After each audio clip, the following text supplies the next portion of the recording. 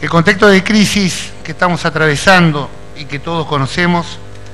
está generando mucha angustia e incertidumbre a todos los habitantes del país y de la provincia del Chubut. Definitivamente, el contexto político, económico nacional nos impacta de manera directa. Sin ánimo, como acabo de decir, de desviar los conflictos propios, necesitamos darle contexto a esta coyuntura para contar con todos los elementos de análisis y poder poner en perspectiva nuestra realidad que nos toca sobrellevar. Las medidas de emergencia del congelamiento del precio del barril y de la fijación del tipo de cambio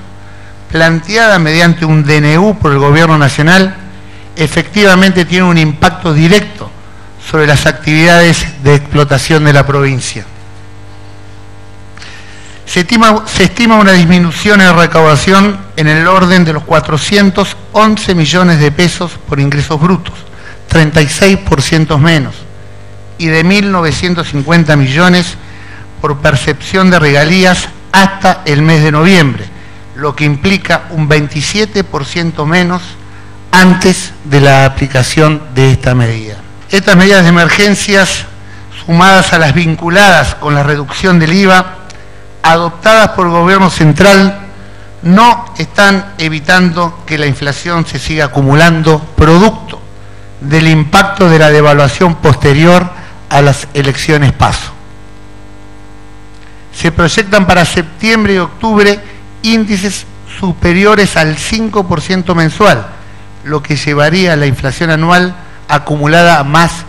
del 60%. Y recordemos que cuando el año anterior fijaron las pautas el gobierno central o el gobierno nacional para los presupuestos de cada una de las provincias,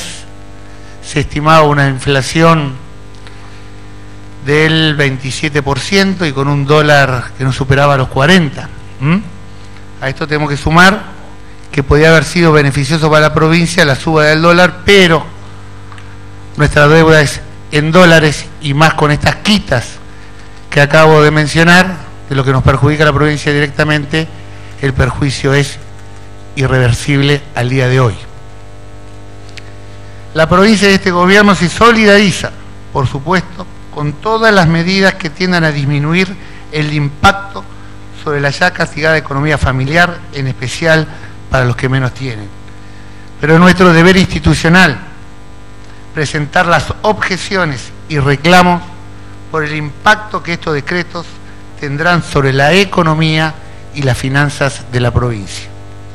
sobre la cadena de valor, en especial a todas las empresas pymes, contratistas y proveedores vinculados a la industria del petróleo.